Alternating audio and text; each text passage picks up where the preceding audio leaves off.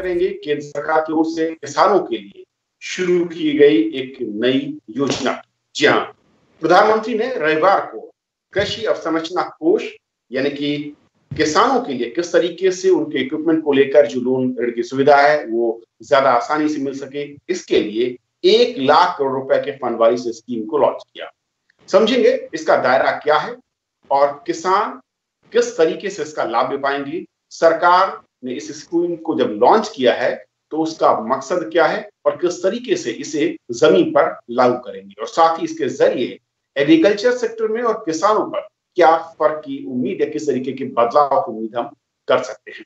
और इसे समझाने के लिए हमारे साथ तीन बेहद खास मेहमान जुड़ रहे हैं। हमारे साथ Vivek Agarwal ji, joint secretary department of agriculture से आपका बहुत स्वागत है। हमारे साथ एक भट्टाचार्य सर हैं, वरिष्ठ पत्रकार और एडिटोरियल डायरेक्टर हैं बिज़नेस स्टैंडर्ड से। सर, स्वागत है। हमारे साथ प्रेम एस वशिष्ठ साहब हैं, जो former director agriculture economic research centre से। सर बहुत बहुत स्वागत आपका। शुरुआत में विवेक जी आपसे करना चाहूँगा कि अगर मैं सबसे पहले इस स्कीम को मोटे तौर पर समझूं, क्या ये स्कीम है? क्या इसका दायरा है? और किस तरीके से मैं कहूँ कि किसानों को इससे मदद की उम्मीद सरकार कर रही है? एग्रीकल्चर इंफ्रास्ट्रक्चर फंड के अंतर्गत एक फाइनेंसिंग फैसिलिटी बनाई गई है। जो एक लाख करोड़ की है, जिसका लॉन्चिंग माननीय प्रधानमंत्री जी ने कल किया था। इस फैसिलिटी का मेन मकसद ये है कि जो किसानों की उपज आती है, उसके लिए पोस्ट हार्वेस्ट मैनेजमेंट इंफ्रास्ट्रक्चर बने और साथ में किसानों को अपनी प्रोडक्टिविटी जो स्पेशलाइज्ड प्रोडक्शन है, उसको बढ़ाने के लिए कम्युनिटी फ़ार्मिंग असेट्स के लिए फंडिंग अवेलेबल हो। ये फंडिंग ऐसे प्रोजेक्ट्स के लिए अवेलेबल है, जिनका जिनका कोई यूज़र चार्ज है और जिसका कोई पे बैक है, ताकि अगर लोन से ये पैसा लिया जाए तो उसको चुकाने की व्यवस्था भी हो पाए। इस योजना में जो मेन फीचर्स हैं, वो ये हैं कि इसमें तीन परसेंट ब्याज की छूट मिलेगी, अगर लोन लिया जाता है।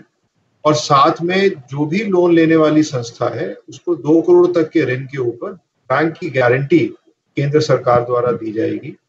इस तरह से लोन लेना आसान है और जो इंफ्रास्ट्रक्चर बनेगा क्योंकि उसकी कॉस्ट ऑफ़ कैपिटल कम होगी तो उसका जो कॉस्ट टू फार्मर है, जो उसके सर्विस चार्जेस हैं, वो भी कम होंगे। इस योजना में जो हितग्राही हैं, जो इसको ले सकते हैं, उसमें प्राइमरी एग्रीकल्चर कोऑपरेटिव सोसाइटीज हैं, जो किसानों का ही संगठन होता है। किसानों के सेल्फ हेल्प ग्रुप्स हैं, किसानों के जॉइंट लाइबिलिटी ग्रुप्स हैं, जो मार्केटिंग सोसाइटीज हैं, जो विभिन्न क्षेत्रों में काम करती हैं मल्टीपर्पज कोऑपरेटिव सोसाइटीज हैं। या जो निजी निवेशक हैं, खासकर अगर किसान खुद अपने फार्म गेट पे या कुछ अन्य किसानों के साथ मिलके इंफ्रास्ट्रक्चर बनाना चाहते हैं तो उद्यमी के रूप में वे भी इसमें सम्मिलित हो सकते हैं। और इसके अलावा जो एग्रीकल्चर के क्षेत्र में टेक्नोलॉजी और अन्य क्षेत्रों के स्टार्टअप हैं, वो भी इस योजना में सम्मिलित हो सकते हैं। जिसके लिए वो जो स्मार्ट एंड प्रोसीशन फ़ार्मिंग है, उसके लिए अगर वो इनिशिएटिव लेते हैं, उसकी फंडिंग हो सकती है स्टार्टअप्स को वेंचर डेट की आवश्यकता होती है, उसकी फंडिंग हो सकती है। अगर कोई ई मार्केटिंग प्लेटफॉर्म बनाता है या ई ट्रेडिंग पॉइंट बनाता है, उसकी फंडिंग इस फंड से हो सकती है। और इस फंड की विशेषता यह है कि ये टॉप अप स्कीम है। अगर कोई ऑलरेडी किसी स्कीम में कोई लाभ मिल रहा है या कोई सब्सिडी है, उसके अतिरिक्त इस स्कीम में भी उस योजना के लिए लाभ मिल सकता है। जैसे साथ ही स्कीम के नबार्ड ने अपनी एक योजना शुरू की। जिसमें उन्होंने कहा कि हम जो प्राइमरी एग्रीकल्चर कोऑपरेटिव सोसाइटीज हैं, उनको तीन परसेंट रीफाइनेंस पे हम ऋण उपलब्ध कराएँगे। एक परसेंट का स्प्रेड जो डिस्ट्रिक्ट कोऑपरेटिव बैंक है, वो लेंगे। तो चार परसेंट ब्याज पे जो वो राशि देंगे, उसके ऊपर तीन परसेंट का इंटरेस्ट सब्सिडी इस योजना से मिल जाएगा, जो एग्रीकल्चर इंफ्रास्ट्रक्चर फंड योजना है।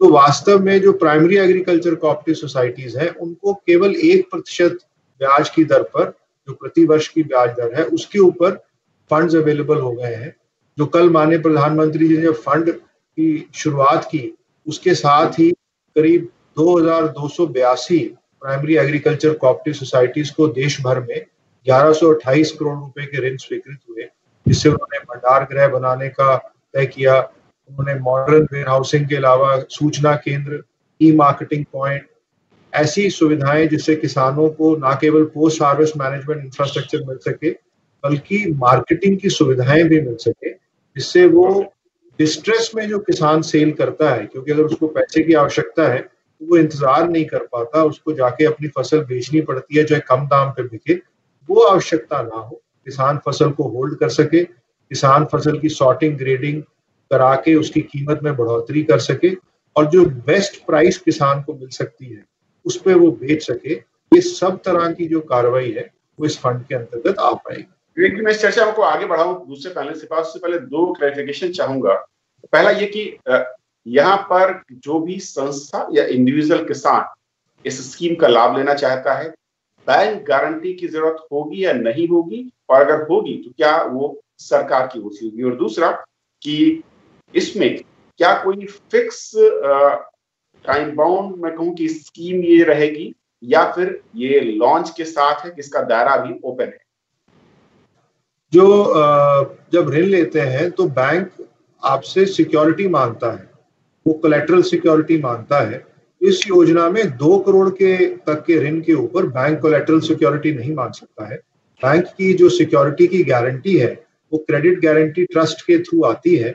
उस क्रेडिट गारंटी ट्रस्ट की जो फ़ीस है वो भारत सरकार की योजना से आएगी। तो इसका मतलब यह है कि जो लोन लेगा उसको किसी प्रकार की अपनी भूमि को या अपनी किसी और असेट को गिरवी रखने की आवश्यकता नहीं होगी। Security okay. भारत सरकार के द्वारा दी जाएगी।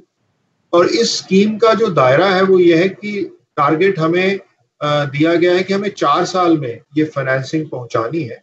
पहला साल जो अभी करंट ईयर है उसमें दस हज़ार करोड़ तक की फाइनेंसिंग हमें करनी है। और अगले तीन hmm. सालों में तीस तीस हज़ार करोड़ रुपया प्रतिवर्ष की फाइनेंसिंग करनी है।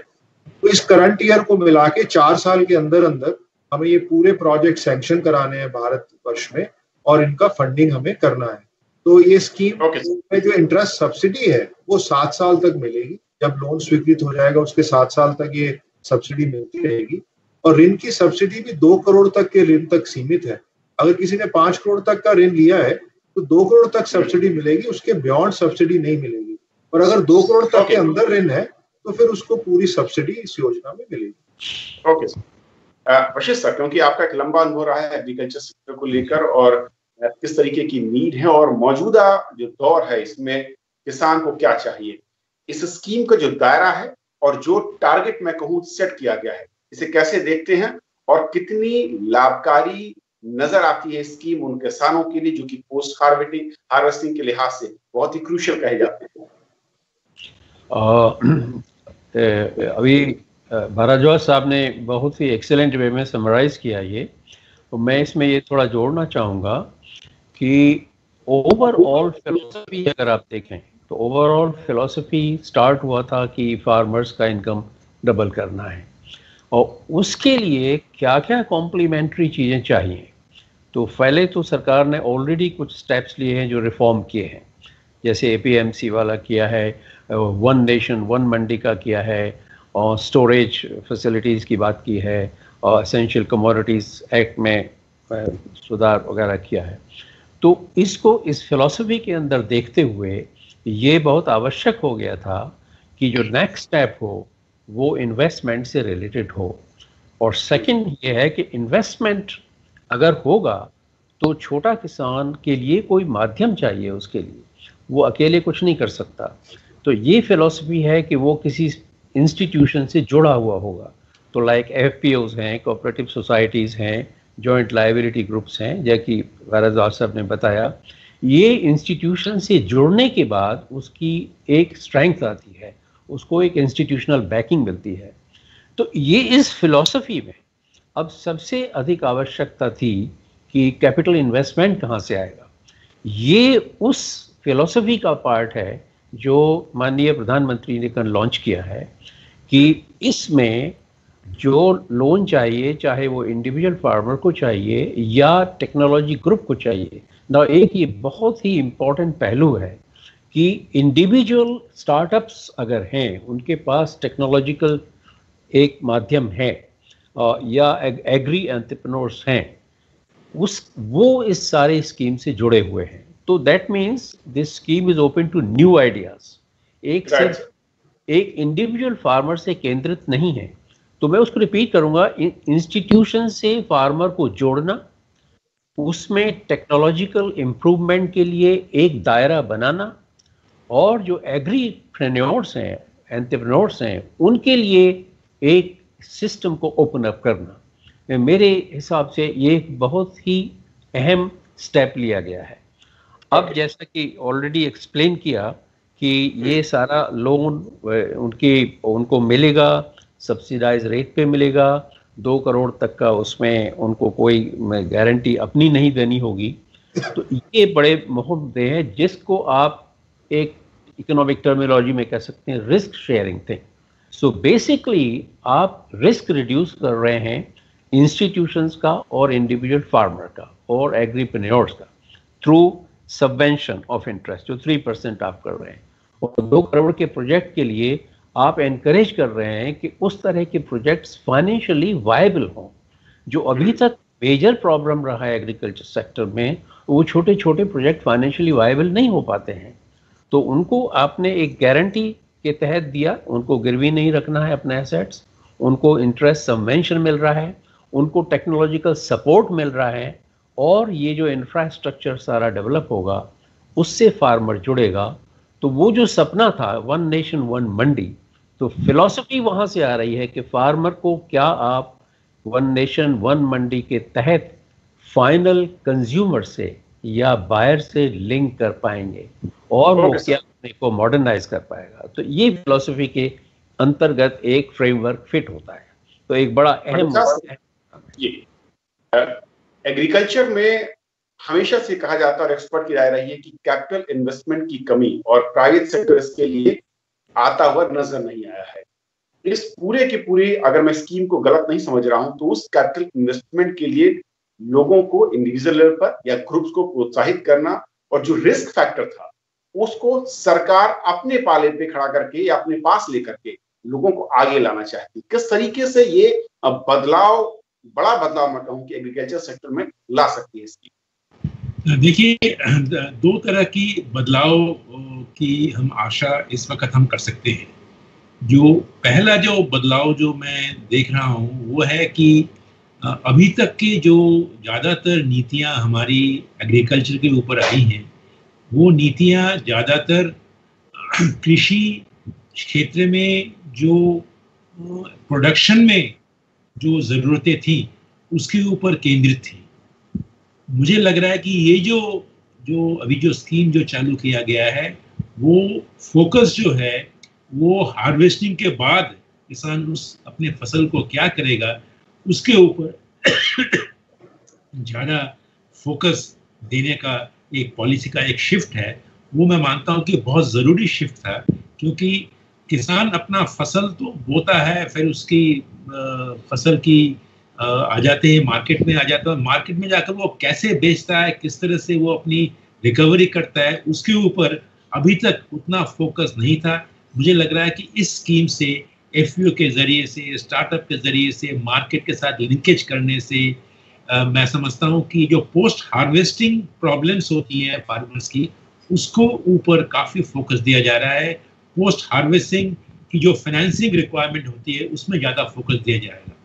और दूसरी बात जो जिसकी आपने ज़िक्र की, वो है कि हमारे एग्रीकल्चर में अगर आप देखेंगे तो एक बड़ी समस्या पिछले कई दशकों से आ रही है कि अगर आप देखें 1980 के दशकों में जो एग्रीकल्चर के ऊपर इन्वेस्टमेंट होता था, उसका अगर आप जीडीपी में इन्वेस्टमेंट का शेयर देखते हैं, वो करीबन 11 प्रतिशत होता। था वो आकर कम होकर 60 प्रतिशत से कम आ चुका है।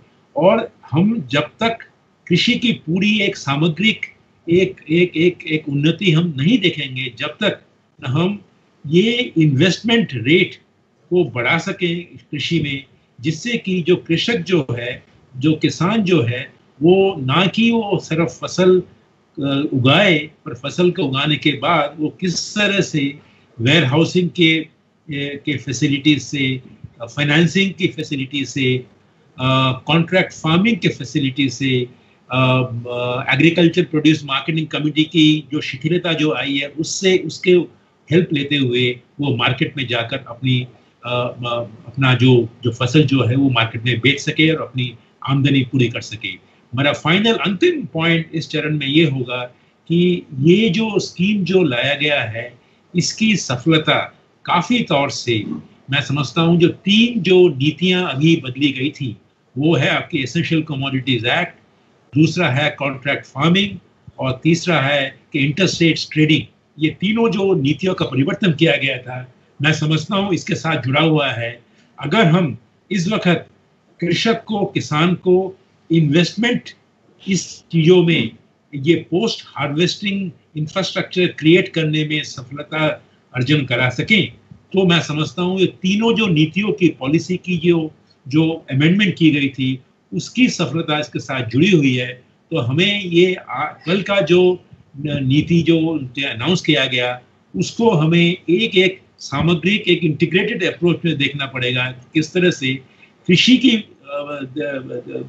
कृषि क्षेत्र में हम ना ही कृषि के पहले पीएम किसान से हम किसान को पैसा दे रहे हैं कि जिससे कि भाई वो अपना पैसा जो बो सके, पर ये भी हम देख रहे हैं शायद कि किस तरह से वो किसान फ़सल उपजाने के बाद वो किस तरह से उसकी सफल मार्केटिंग कर सके। मैं समझता हूँ कि ये एक एक एक सर्कल था, वो शायद ये सर्कल अभी पूरा होने की तरफ़ जा रहा है।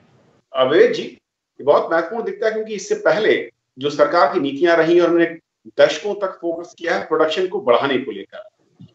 हाल के कुछ वर्षों में हमने इस फोकस को चेंज किया है कि आफ्टर प्रोडक्शन प्रिक्योरमेंट और वैल्यू एडिशन और शायद वही की है, वो कुंजी है किसानों की आय को दोगुना करने या उनकी आय को बढ़ाने को लेकर।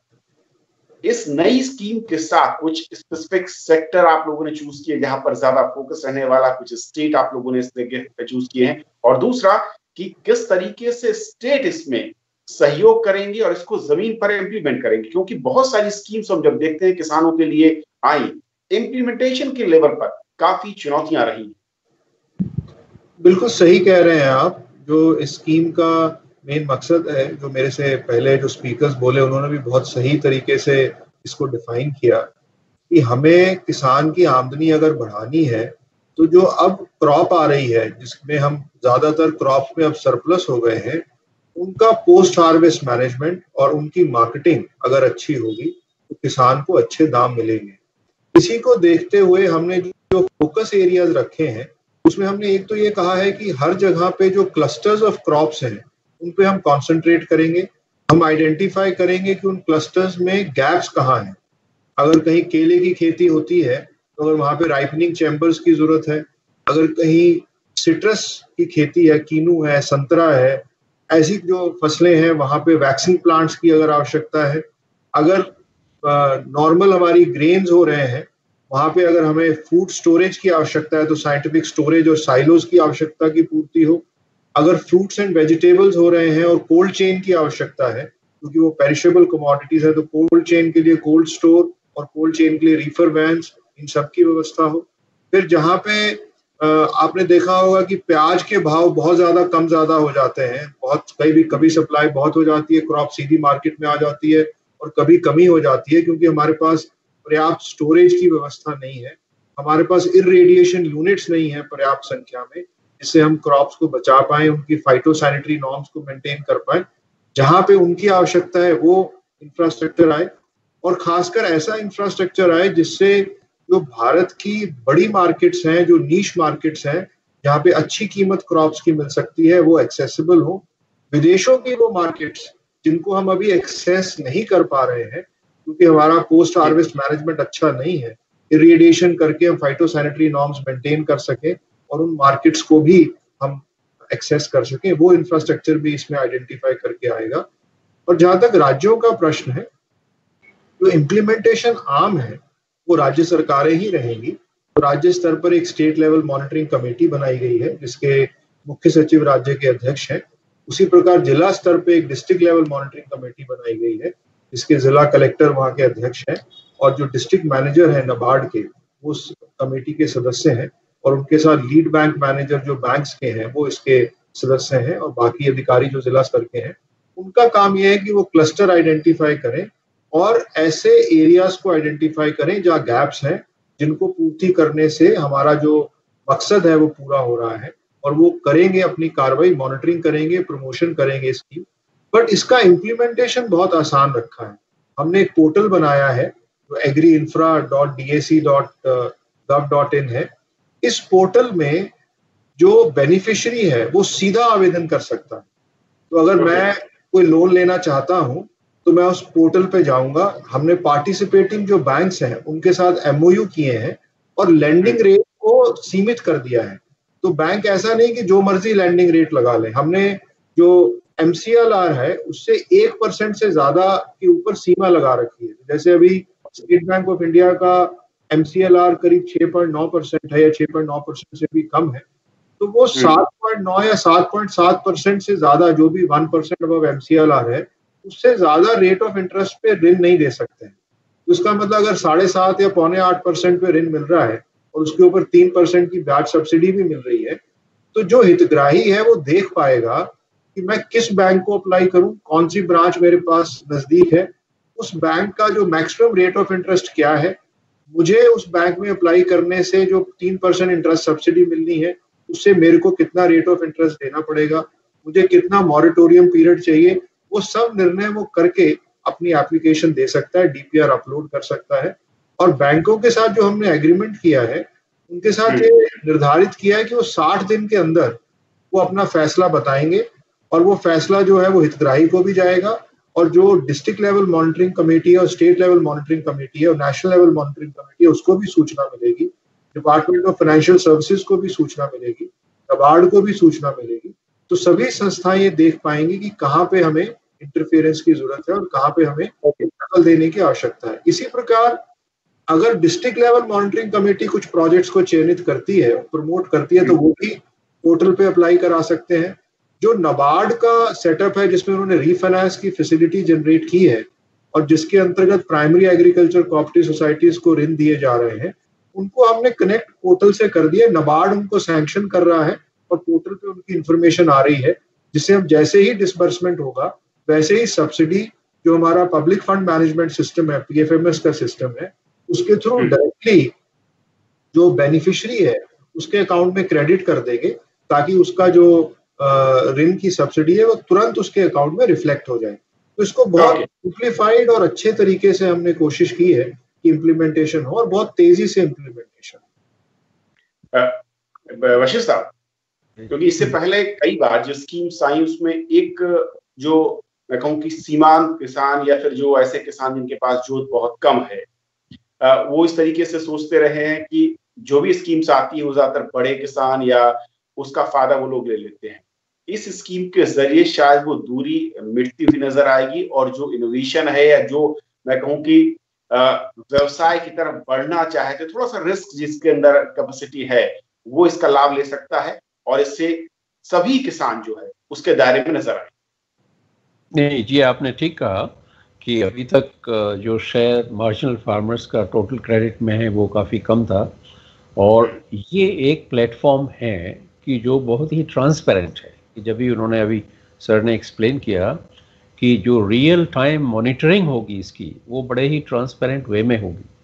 तो दो चीज़ें इसमें अहम हैं कि एक छोटा फार्मर भी अपने को किसी इंस्टीट्यूशन से जोड़ सकता है प्रोविशन उसके जोड़ने से उसको एक्सेस टू टेक्नोलॉजी मिलेगी और सबसे बड़ी चीज़ है जो आप एक सेंटेंस में समराइज करते हैं access to information and knowledge वो बहुत बड़ी चीज़ है। अब उसको पता लगेगा मुझे कहाँ जाना है, किससे मुझे कांटेक्ट करना है, किस संस्था के साथ जुड़ना है, कहाँ से से लोन लेना है। तो उसको टेक्नोलॉजी भी मिलेगी इंफॉर्मेशन भी मिलेगी और अपने मार्केट का एक बड़ा उसको नॉलेज होगी। और सेकंड पॉइंट इंटरेस्टिंग चीज़ ये है कि जो मैं अभी देख रहा था कल के लिटरेचर में कि इंटी स्कीम को बाकी सेक्टर से इंटीग्रेट किया गया है। तो चाहे वो बी कीपिंग है या फिशरीज है या you know like perishable commodities की प्रॉब्लम है जो सबसे बड़ी प्रॉब्लम हॉर्टिकल्चर प्रोडक्ट्स में आती है जो पेरिशेबल गुड्स हैं उस उसमें भी एक छोटा फार्मर अपने को लिंक कर सकता है। तो ये सबसे बड़ा एक मुद्दा है ट्रांसपेरेंट वे में जो किया जा रहा है रियल टाइम मॉनिटरिंग की जा रही है। और जैसे अभी बताया सर ने कि सारी चीज़ें पोर्टल पर हैं वो अपने को उन चीज़ों से जोड़ सकता है। एक चीज़ मैं एक मिनट में अभी समाप्त करना चाहूँगा कि अभी तक ज़्यादातर फोकस रहा है डोमेस्टिक मार्केट पर। इसमें एक बड़ी इंपॉर्टेंट चीज़ जो इस स्कीम में लाई गई है कि हमको इंटरनेशनल ग्लोबल लेवल पे कॉम्पिटिटिव होना है। तो आपके लिए एक बहुत बड़ा चैलेंज है और कॉम्पिटिटिव आप तब तक नहीं हो सकते जब तक आप ग्लोबल नॉर्म्स को पास नहीं करेंगे। और जब तक आप नई टेक्नोलॉजी नहीं लाएँगे कॉस्ट रिडक्शन नहीं करेंगे तो आपको एक चैलेंज दिया जा रहा है हमारे एग्रीप्रेन्योर्स को और टेक्नोलॉजी एक्सपर्ट्स को और जो फार्मर से जुड़े होंगे कि आप लोग ग्लोबल लेवल पर कंपेटिटिव होना है स्पेशली जैसे ऑर्गेनिक प्रोडक्ट्स हैं और fortified you know food fortification of food ये एरियाज़ ऐसे हैं जहाँ पर हमको एक बड़ा लीड मिलेगा। और इंस्टीट्यूशन के ज़रिए वो छोटे छोटे फार्मर भी इससे जुड़ सकते हैं। तो मैं सोचता हूँ कि एक ट्रेड एस्पेक्ट को जो लिंक किया है, ये एक बड़ा इंपॉर्टेंट पॉइंट है इसमें। सर, आखिर में छोटा सा कमेंट में चाहूँगा कि किसान मेहनत करना जानता है और उसने प्रोडक्शन को बढ़ाकर भी दिखाया, लेकिन व्यवसायी बनने के लिए थोड़ा सा उसे हुनर चाहिए होगा और इन स्कीम्स के ज़रिए टेक्निकल सपोर्ट जो है उसकी ज़रूरत शायद अब पड़ेगी फ्यूचर ज़रूर ये ज़रूर उनको करना चाहिए और उसके लिए मैं समझता हूँ कि दो, मैं मैं संक्षिप्त में कहूँगा, दो चीज़ों की ज़रूरत होगी।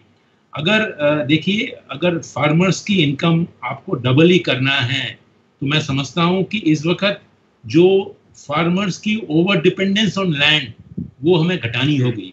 इस वक्त अगर आप देखते हैं तो हमारे देश में करीबन 42 प्रतिशत हमारी पूरी एम्प्लॉयमेंट की जनसंख्या जो है एम्प्लॉयड वो कृषि के ऊपर निर्भरशील है। हालाँकि वो हमारी जीडीपी की सिर्फ़ 15 परसेंट भी नहीं देती। तो अगर हम चाहते हैं कि कृषि की जो उत्पाद, उत्पादकता बढ़े और इनकम बढ़े, मैं समझता हूँ कि जो एम्प्लॉयमेंट लोड जो है, वो घटाना होगा और वो तभी घटेगा जब हम ये जो पोस्ट हार्वेस्ट फैसिलिटीज़ में जाकर उसको इन्वेस्टमेंट बढ़ाकर उनकी मार्केटेबिलिटी को बढ़ाएँगे और उनको नॉन व्हीट और नॉन राइस कैटेगरीज में क्रॉप को उगाने की और भी इंसेंटिवाइज करेंगे। क्योंकि जो, काफ़ी जो कॉन्ट्रैक्ट फ़ार्मिंग से अगर आप और भी जो डिफरेंट क्रॉप्स हैं, उसमें आप डाइवर्सिफिकेशन में काफ़ी इंकरेजमेंट मिलेगा। मैं समझता हूँ ये सारी जो स्कीम जो है, ये एक तरफ़ से इंकरेज करेगी हमारी कृषि को और भी समर्थ होने के लिए।